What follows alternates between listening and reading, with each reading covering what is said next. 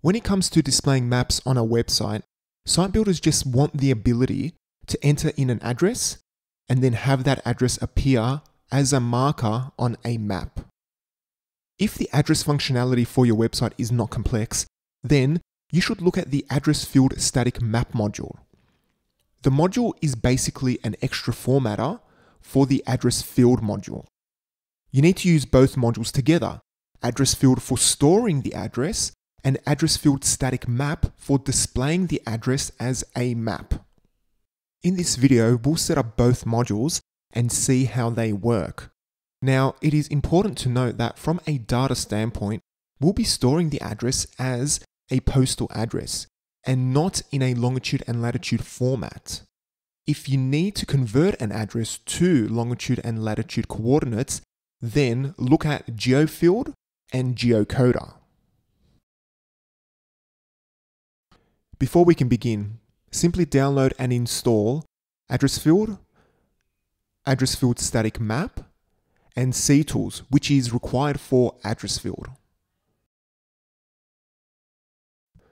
The first bit of work we need to do is create an address field. We'll add this field to the article content type.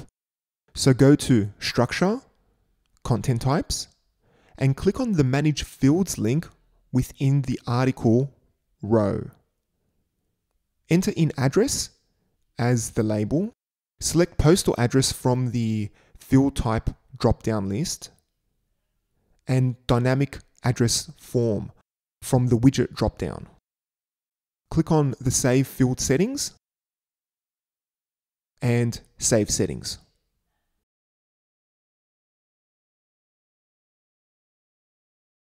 In the last part, we created a field to store an address. Now we need to configure the static map formatter for the address field. So click on the Manage Display tab and select Address Field Static Map option from the Address Format drop-down list and click on Save. Click the cogwheel icon to configure the map. Using the formatter settings, you can configure the zoom level, map size, and type. The Advanced Settings block drop-down list allows you to configure a few advanced options.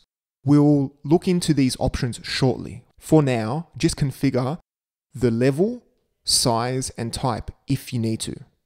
Click on Update and then Save. Now go ahead and create a test piece of content to make sure everything is working. If everything has been set up properly, you should see a static map. Go to Content and then click on Add Content and enter in an address.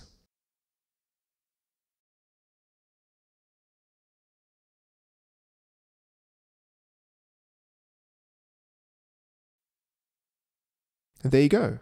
The address field is now displaying a static map of the address location.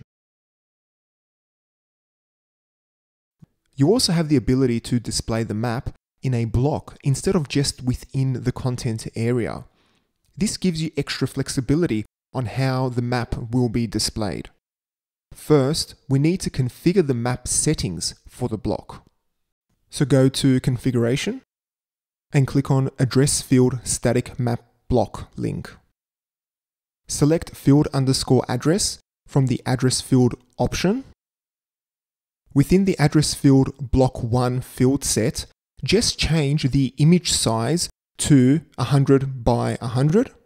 If you like, also change the map type, zoom level. And once you're done, scroll to the bottom and click on Save Configuration.